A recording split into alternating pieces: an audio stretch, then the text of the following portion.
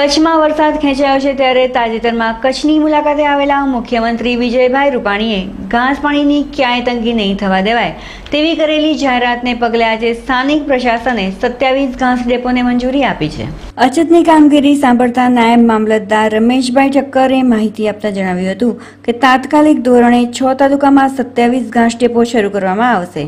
સરકારે બે રૂપિયે કિલો ઘાસ આપવાની જાહેરાત કરી છે. તેના ભાગરૂપે લખપતમાં ચાર, અબડાસામાં ચાર ભચાઉમાં છ, નખત્રાણામાં ચાર, રાપરમાં ચાર, ભુજમાં પાંચ મળી પ્રથમ તબક્કે સત્યાવીસ ઘાસ ડેપોની મામલતદાર કક્ષાએથી આવેલી દરખાસ્તના આધારે પરવાનગી આપવામાં આવી છે.